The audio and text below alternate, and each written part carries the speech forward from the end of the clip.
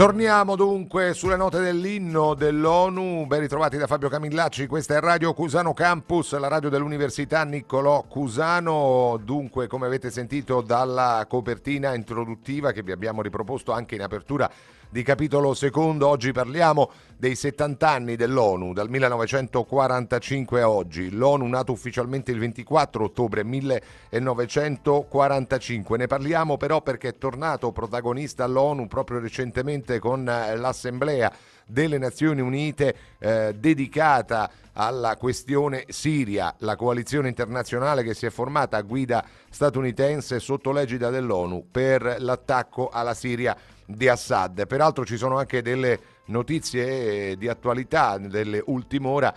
Tensione nei cieli tra Turchia e Russia. C'è stata una riunione d'urgenza del Consiglio NATO perché le autorità di Ankara affermano che sabato caccia turchi hanno intercettato un jet russo nel loro spazio aereo, mentre domenica altri due F-16 turchi sono stati inseguiti da un MiG non identificato. Ecco, ci sono dichiarazioni da parte della Turchia eh, in cui si legge pronti ad attivare le nostre regole di ingaggio, la Nato eh, dice che tutto questo è inaccettabile e per questo è stata convocata una riunione d'urgenza del Consiglio Nord Atlantico. Di eh, questi temi di attualità adesso però ne parliamo con un altro ospite che è in collegamento eh, telefonico, un piacere avere in diretta la storia oscura il deputato del Movimento 5 Stelle Manlio Di Stefano, buon pomeriggio, benvenuto.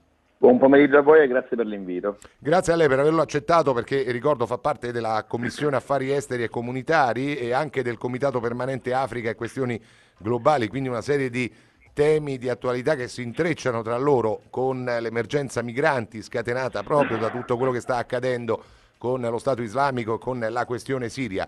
Richiedo innanzitutto qual è la posizione del Movimento 5 Stelle in merito all'attacco eh, alla Siria.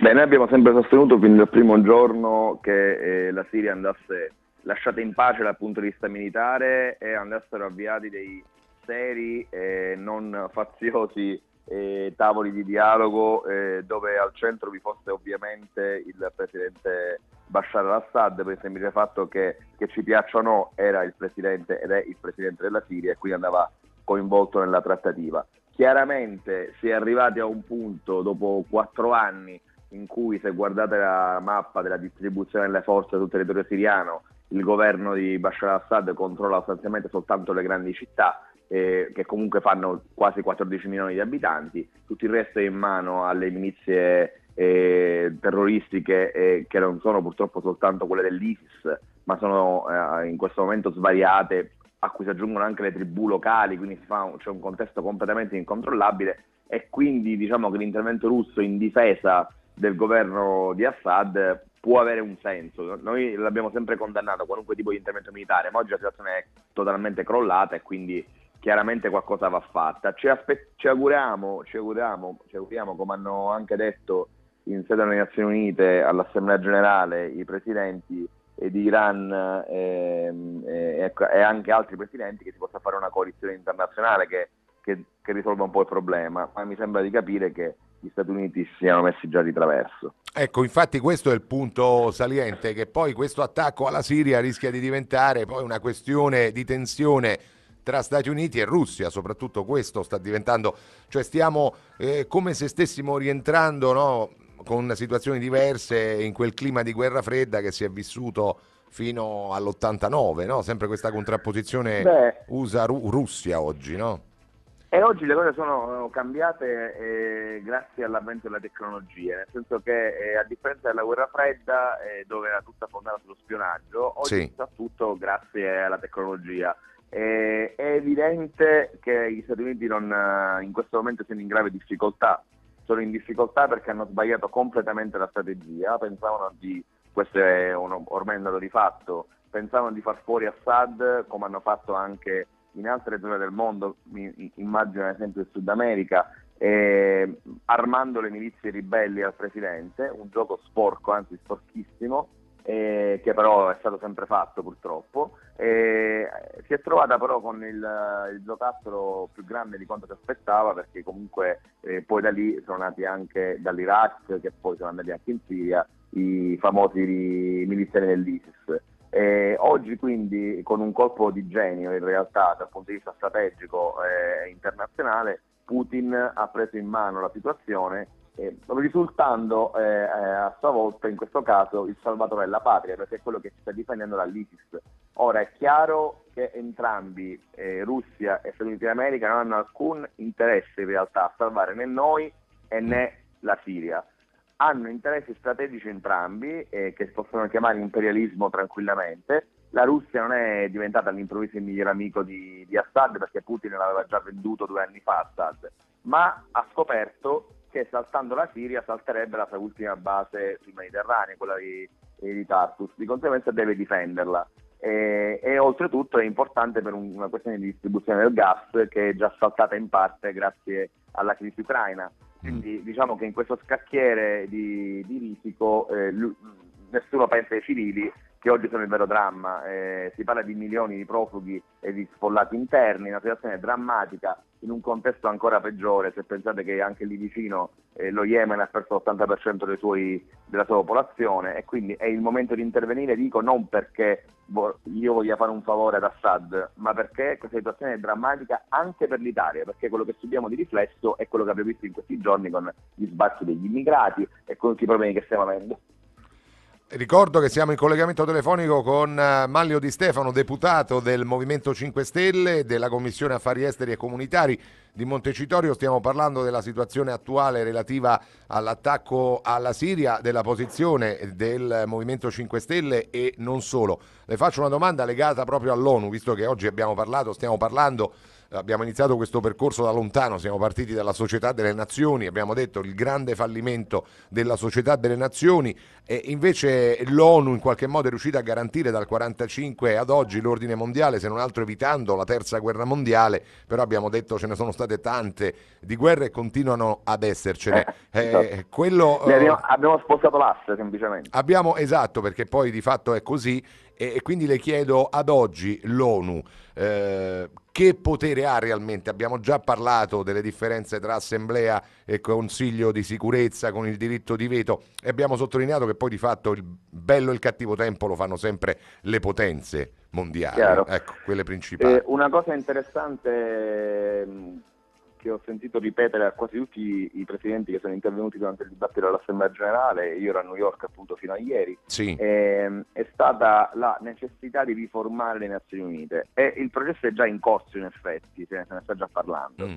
Il problema è che eh, è un organo che come tutti gli organi internazionali eh, decide ma non obbliga. Di conseguenza che succede? Eh, che se come è stato nel 2011 la Francia, in barba alla risoluzione delle Nazioni Unite, decide di attaccare la Libia e destabilizzarla per sempre, lo fa tranquillamente e non subisce nessun tipo di pena. Eh. in Siria eravamo sull'orlo dello stesso tipo di situazione eh, un annetto fa. L'Italia, tra l'altro, con, con la Pinotti, con il ministro della difesa Pinotti, era già resa disponibile. Fortunatamente le forti pressioni eh, sociali anche in Italia e devo dire anche grazie al Movimento 5 Stelle che si oppose duramente in Parlamento si è evitato e, e, e, per fortuna grazie anche all'inter, all'interposizione di, di, Putin che disse chiaramente nessuno tocchi la Siria. Eh, ma questo testimonia la debolezza di quest'organo, un organo che non ha nessun tipo di reale controllo sui paesi che ne fanno parte. E, e aggiungo un'altra cosa, è un organo che è fondato oggi sulla totale ipocrisia. Abbiamo dei rapporti solidi, duraturi e stabili con paesi come l'Arabia Saudita che insieme al Qatar sono i primi foraggiatori dei gruppi terroristici nel mondo, dove non è rispettato nessun tipo di diritto umano, dove c'è una lapidazione ogni due giorni, ma riteniamo un dittatore da eliminare con qualsiasi mezzo Assad in Siria. Cioè, allora capiamoci un attimo, ci interessa davvero portare la pace e i diritti umani nel mondo o ci interessa soltanto laddove ci sta scomodo il presidente di turno? Perché questa è la, domanda che anche i presidenti alla, all'Assemblea si facevano. Eh, Rouhani, ad esempio, il presidente della, dell'Iran, ha fatto un intervento molto intelligente sul senso dell'eliminare i piani di bellici nucleari quando alcuni paesi come gli Stati Uniti hanno bombe atomiche in tutto il mondo. Cioè, un, c'è un doppio peso che oggi non sta più bene a nessuno e questo dobbiamo capirlo una volta per tutte, altrimenti saremo davvero non più nella, nella guerra fredda ma nelle guerre fredde tra tutti i paesi. Tornando a quanto appena detto, peraltro, e avvalorando quello che ci ha appena detto, eh, Evan Leward, eh, storico e politico britannico del Partito eh, Laburista, scrive a tal proposito proprio in occasione della nascita dell'ONU, parlando di storia eh, dell'ONU, il nuovo organismo doveva essere il più universale possibile e questa volta doveva soprattutto comprendere, sin eh, dal primo momento, Stati Uniti e Unione Sovietica. In terzo luogo, doveva disporre di sanzioni più efficaci di quelle consentite un tempo alla società delle nazioni, cioè doveva avere denti. Mi pare di capire che l'ONU denti non li ha mai avuti poi di fatto, no? E ce lo sta non... confermando. Ecco. No, non ne ha ed è lo stesso tipo di fallimento che purtroppo sta vivendo, ha sempre vissuto in realtà l'Unione Europea, perché anche lì eh, Renzi ha tanto sbandierato l'aver ottenuto il, pres- il ministro degli affari esteri europeo Federica Mogherini, sfido qualsiasi esperto a dirmi qual è il ruolo del ministro degli affari esteri europeo, non abbiamo una politica estera comune. Cioè, è tutta una macchina che oggi non funziona, io non sto dicendo che sia una macchina che non voglio che funzioni o che vada, vada sì, de- de- debellata, ma o ci rendiamo conto che non funziona oppure ci prendiamo in giro. E, ehm, I ruoli importanti oggi purtroppo li ricoprono soltanto quelli decisionali per la comunità europea, per l'Unione Europea la Germania e un po' la Francia, per le Nazioni Unite è in realtà la politica estera degli Stati Uniti d'America. Infatti, eh, sempre dalla Siria, eh, oggi a proposito di Siria è arrivata la notizia che per il rilascio di Greta Ramelli e Vanessa Marzullo, le due ragazze italiane rapite nel luglio 2014, liberate nel gennaio 2015, sarebbe stato pagato un riscatto di circa 11 milioni di euro. Già c'erano state tante polemiche allora. Eh, esatto. Qual è la vostra posizione in merito a questa notizia che attendiamo dovrebbe essere confermata? Comunque eh, è una Guardi, io ne stavo, ne stavo, scrivendo proprio in questo istante. E è una notizia che, tanto per cambiare, dimostra come il nostro governo sia un governo codardo.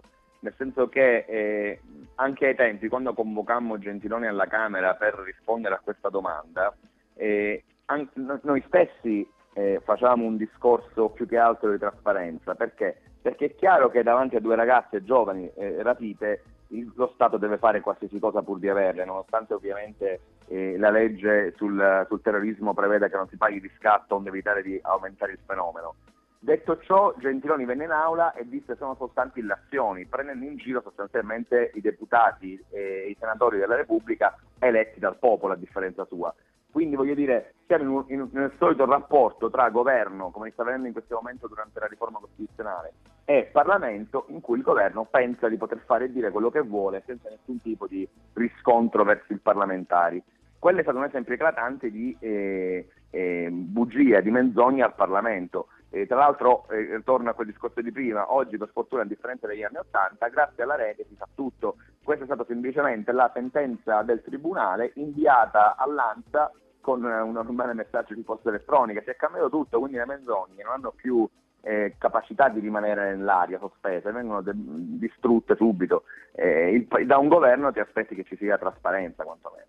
Ecco, ricordiamo che arrivano queste notizie da fonti giudiziarie di Aleppo, secondo cui una delle persone coinvolte nel negoziato è stata anche condannata per essersi intascata circa metà milioni, ecco, sì. del riscatto. E tra l'altro è un signore della guerra, quindi ecco. abbiamo, trattato, abbiamo trattato con gente che poi è la causa dei problemi stessi che abbiamo in quei territori, ma questo è un dato di fatto ormai. Eh, le chiedo un'ultima cosa, sempre di grande attualità, visto che l'ufficio di presidenza del Senato sta parlando, lei ovviamente è deputato, eh, non senatore, però la uh, notizia nel fine settimana scorso, venerdì scorso, ha fatto molto scar- scalpore il gesto di Lucio Barani eh, a proposito sì. del dibattito sulle riforme penso che si stia, ormai è diventato anche questo no? motivo di indagine, che cosa faranno ricorso anche alle telecamere. Per... Io credo che comunque si debba un po' ritornare, come ha detto Grasso, un po' più di civiltà, no? al di là del gesto fatto o meno, ma ormai succede un po' di tutto in Parlamento purtroppo. Sì, diciamo che Grasso è l'ultimo che può parlare in tal senso perché se guardate il video delle, di quei momenti, eh, anziché redarguire e quindi come un arbitro di calcio mm se dai il giallo al primo fallo, i giocatori capiscono che è arrivato il momento di smetterla, no? Certo, Invece sì, Grasso, Grasso, in quelle immagini se la ridacchiava e, e, diceva addirittura questo non rientra nella riforma costituzionale. Ora non è che se l'obiettivo del governo è di approvare una cosa, il Presidente del Senato deve diventare il suo braccio destro, il suo esecutore. Il Presidente del Senato ha intanto il dovere, non il diritto, il dovere di eh, garantire il diritto delle minoranze, questo lo dice la nostra Costituzione. Dopodiché di far rispettare la, la, l'ordine dei lavori, la tranquillità all'interno delle Camere. Di conseguenza tu non puoi, con l'obiettivo di andare avanti, permettere qualsiasi cosa. Ci sono due momenti pazzeschi in quel dibattito parlamentare. Il, deputato, il senatore Danna che fa un gestaccio ignobile e, e, e subito dopo il, um, l'altro, deputato, l'altro senatore, non ricordo adesso il nome, scusatemi, che fa un altro gestaccio ancora peggiore. Mm. Allora, se tutto è permesso, e tra l'altro, ripeto, qua non stiamo approvando una ratifica qualunque, stiamo facendo la Costituzione, quella è un'assemblea costituente come quella che scrisse la nostra Costituzione. Allora, io non immagino, sinceramente non immagino i nostri pari costituenti fare questi gestacci quando scrissero la Costituzione. Eh, se, dopo... questa è la gente, se questa è la gente che sta riformando la Costituzione con Renzi, eh, gli italiani eh, devono, devono, avere paura di quello che uscirà da questa riforma. E io ce l'ho già perché l'ho studiata e verificata. Io credo che non si possano neanche provare diciamo, no, dei, a fare dei paragoni tra i padri costituenti e, e, eh, e, altri personaggi di oggi della politica italiana. Purtroppo sì, purtroppo sì. Visto... Però il momento, il momento, legislativo è proprio lo stesso, purtroppo. Ecco, e aveva il colpo in canna, quindi a questo punto la faccio tra virgolette sparare a proposito della, delle riforme volute da Renzi, la sua opinione in merito. Ma è un, è un piano chiaro e completo a partire da tutte le riforme che sono state fatte fino ad oggi dal governo Renzi per eliminare sempre di più il controllo popolare dal Parlamento abbiamo sempre avuto il problema secondo il potere, ma la fortuna secondo il popolo, di creare delle Camere che avessero bisogno di dialogo, no? perché sì. c'era sempre un po' di stabilità da una parte o dall'altra. Con queste riforme si tende a, a si, si è voluto dire l'unico obiettivo è la stabilità del governo, ma un governo è stabile quando ha delle proposte serie, altrimenti è giusto che non lo sia se hai le proposte serie, le opposizioni votano insieme alla maggioranza, noi l'abbiamo fatto tantissime volte. Noi si vuole creare un Parlamento che qualsiasi cosa il governo voglia fare lo possa fare, non è così che deve essere un Parlamento democratico.